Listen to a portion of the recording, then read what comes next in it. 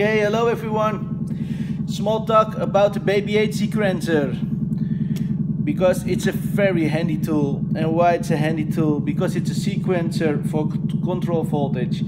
But it's also uh, a trigger output sequencer for drums. Um, we kind of first listen to the CV and you can control every step by the potmeters. That makes it really nice. And there's a scale you can make the shorter uh, sequencer like two or three or four with a reset uh, and then put it in a trigger. I will show you later. Let's listen to it. Now we go to some steps. There is a, it's in a wavetable sound.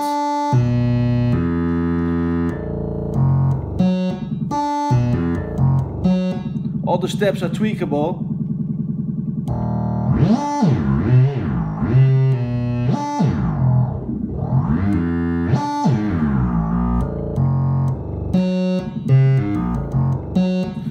create a song.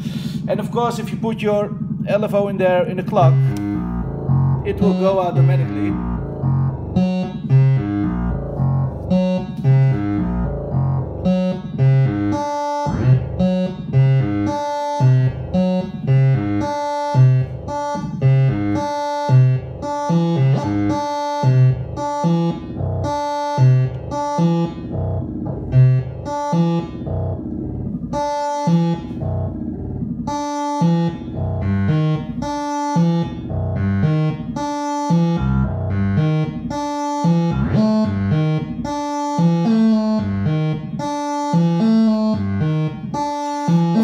Can make it go faster.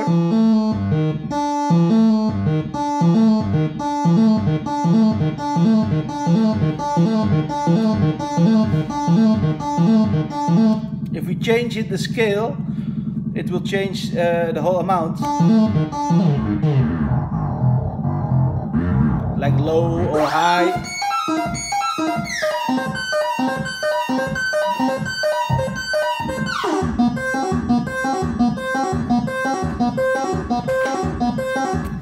Now it's a sequencer with eight steps. If I want to make it like four steps or two steps or six step, I just put one in the reset and one over here. Now you will see that it's smaller.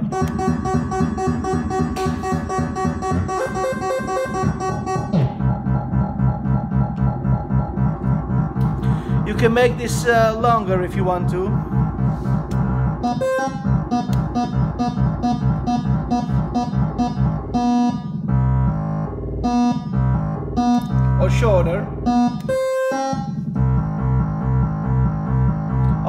Steps.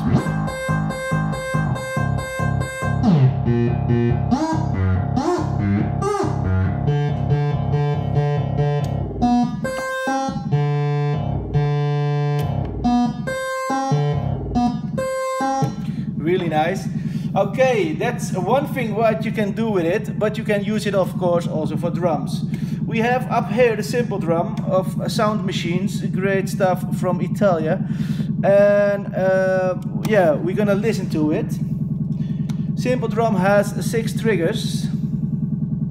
So uh, what we can do, we take the trigger from the sequencer of the Baby 8 I put the oscillator a little bit down. Then we can listen to some drums. Okay, let's say I take a trigger here and a trigger here. Now if the light is there, you, you will hear the, the drum. Nice. We have more cables because we have six triggers.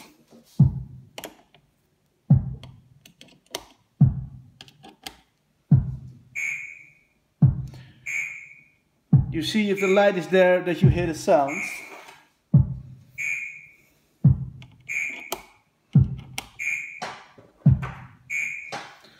That's how you can make a whole tune.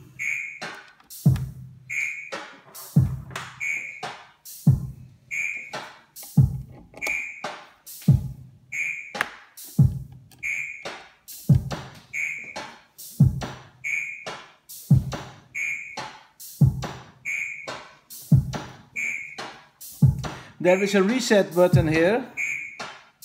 and a step button.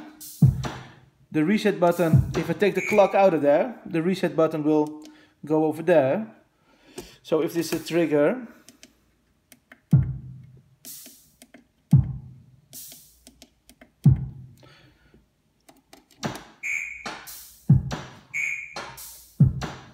Now you can make some sounds.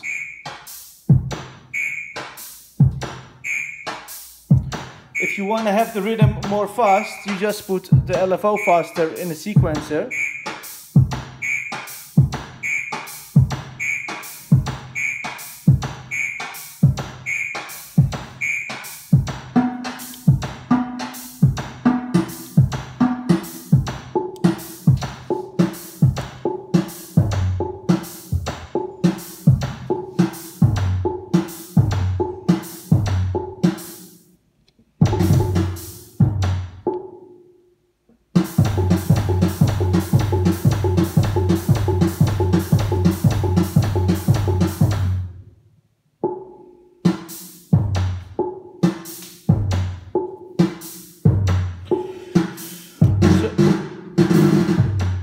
So that's one part that you can make a drum sequencer of this.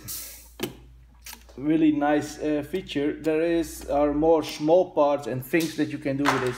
You can make it also as, as a kind of wave shaper. Uh, if we have a wave, let's say this.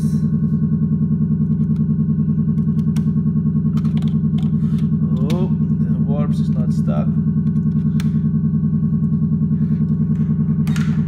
Really fast now. It can't even go faster uh, if you put oscillator in there.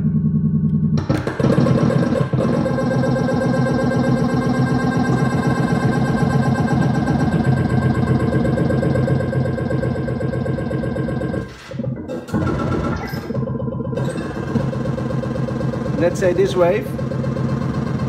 I put a little bit harder.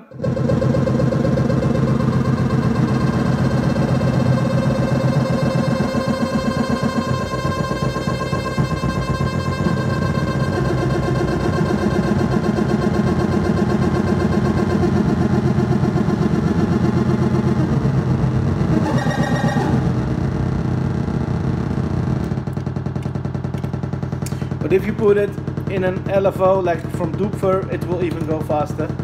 Or in a, let's say a VCO, uh, yes. Okay, thanks for watching. This is the Baby 8.